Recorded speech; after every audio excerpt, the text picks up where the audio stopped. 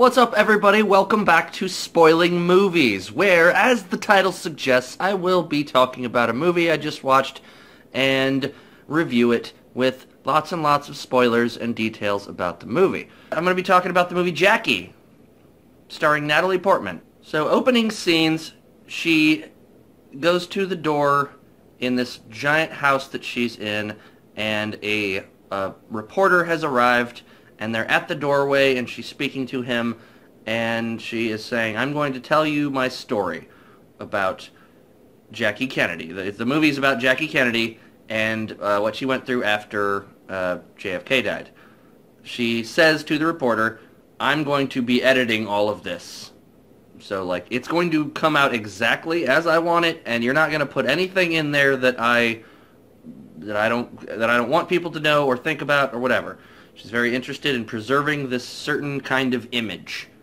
People are walking around the White House. They're uh, they're filming, and and she's explaining, uh, you know, the things. They're asking her like, you know, what did you do? Like, how about the Lincoln bedroom? And she's like, well, this is okay. she has she has a really interesting way of speaking.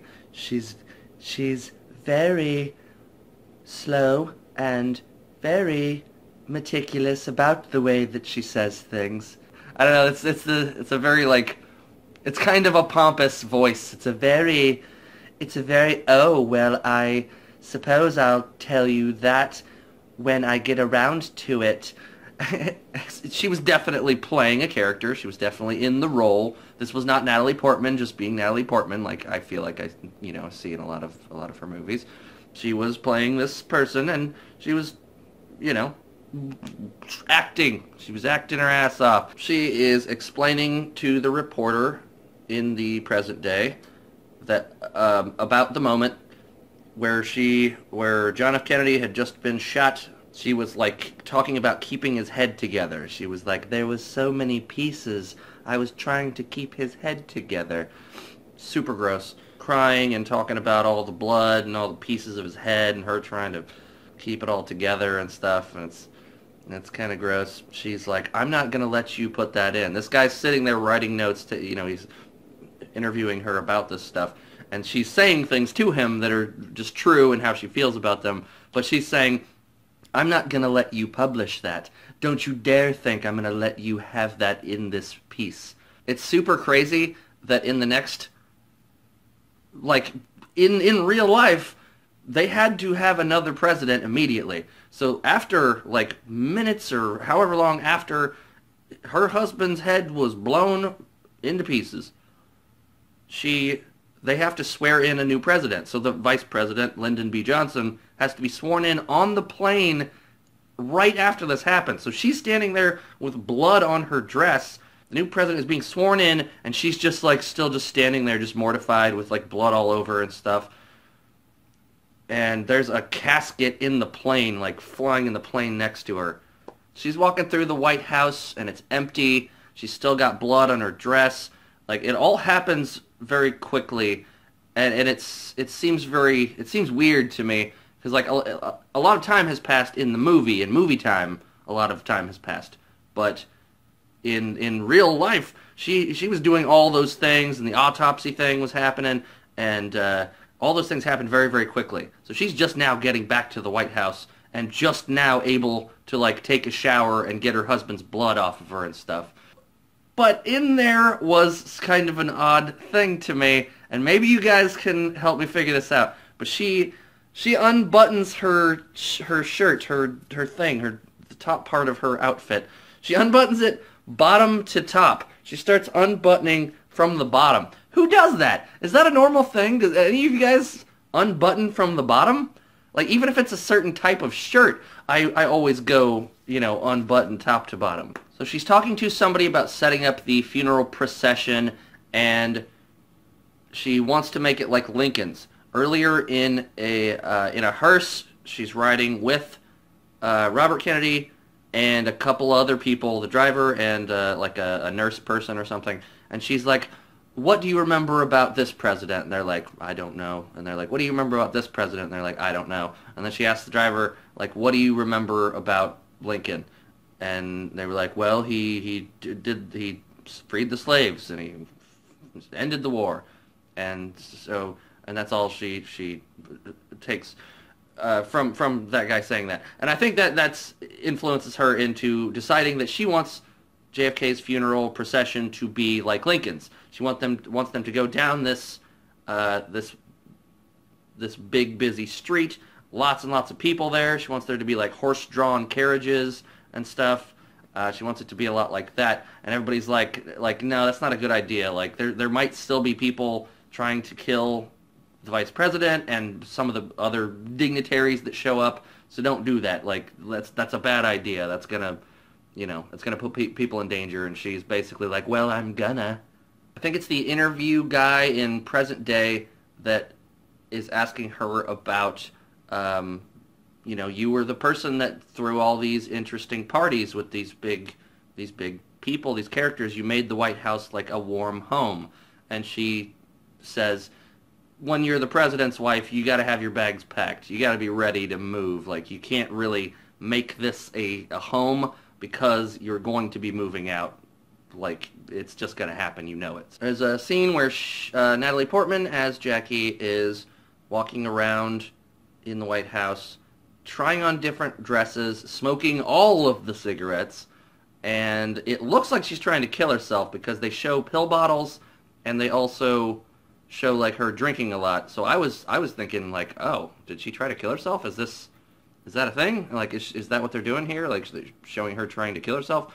But I guess that wasn't the thing. It just seemed that way to me because she was taking a bunch of pills and walking through the house and drinking. In the real life interview with the the guy, the reporter guy, she says, like, so how would you write that?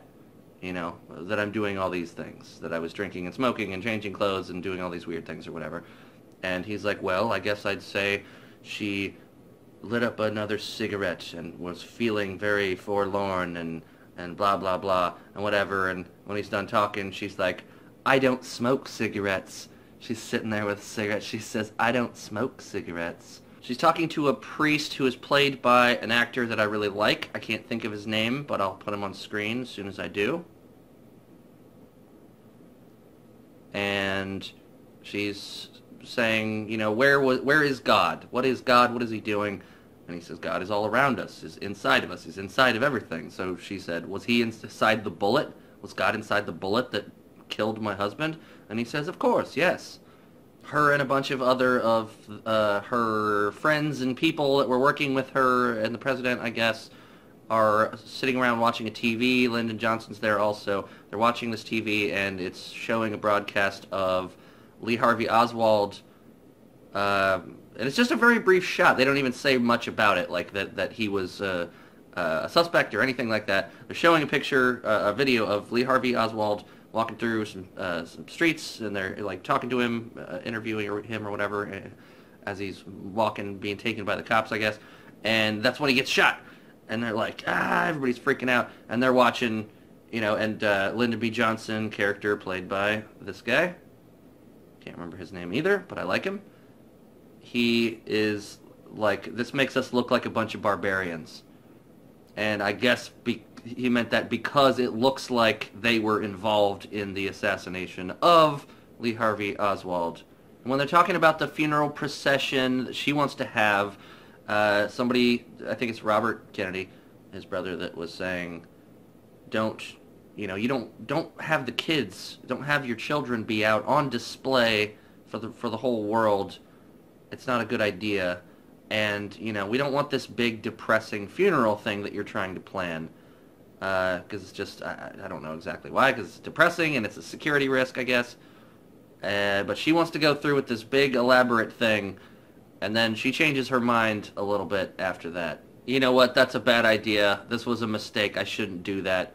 Let's go the back way. You know, do like the funeral procession thing, but don't do it the way that I was going to do it with the Lincoln thing. Let's go the back way. Let's just get it done. Keep it small and secretive or whatever. They go back to the whole her rede- talking about redesigning the house and how she wanted the you know all these historic figures and men to be uh, you know shown the way that they were that they were real people that they weren't just like a myth that they existed and they lived here and they did amazing things there's a scene with the little boy blowing out his birthday candles and he like blows. There's it's his third birthday. He's got a couple candles here and one candle over here, and uh, he blows out the farthest one first, and then he blows out the other two like immediately. And I was like, I call bullshit. No child in the history of children has ever blown out all of the candles on their first try like that. Not in a million fucking years.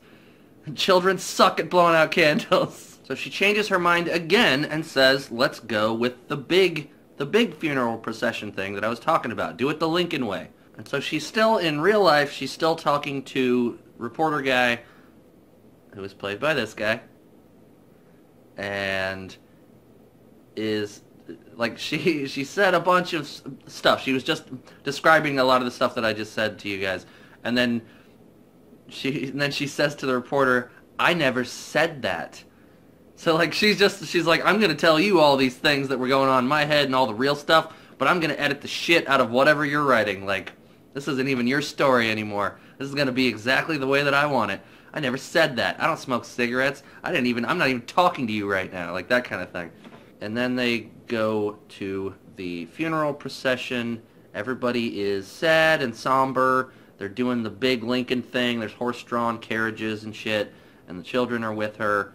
They show a flashback, a little more of a uh, serious flashback that's like shows a little bit more of the the scene of JFK, uh, like right after he'd been shot. His head is in her lap. She's like holding it. She's trying to put, you know, keep his head together, and and it's really graphic and it's unnecessary. It seemed like they just, you know, people are going to expect to see this, but I was like, eh, you don't really need to show that. We already get it. We get what the whole, you know, like that thing happened. This very graphic, brutal thing happened. Well, we can use our imaginations. We don't, you don't, you don't need to like show us the prosthetics and the makeup and stuff that you did. You can be a good actor, but not really look like the person that you're portraying and I, th- I don't think they, they quite got the, the look right, but she she acted well. The whole movie really seemed like it was about who she was as a person and what her contribution was.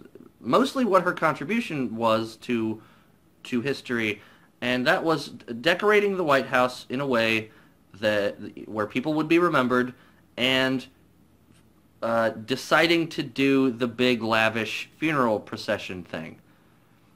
And it to me the movie didn't it didn't it didn't get me. It wasn't my type of movie i enjoyed it but it i wish there was more to it i wish there was more like about her like who she was really like i don't know like other things that may have happened after all this but it really was just about the way that she wanted to preserve the memories of people and the way that things were seen. It's all about her being in control of the way that uh, her and her husband were being perceived, and uh, and it's just mostly about her deciding to do the funeral even though people were against it. That's pretty much the whole movie idea. Toward the end, she is driving by a clothing shop and is noticing that there are uh, in the window the mannequins, the, the women, female mannequins are wearing her dress, like dresses that are different colored, but they were her dresses that she had been wearing.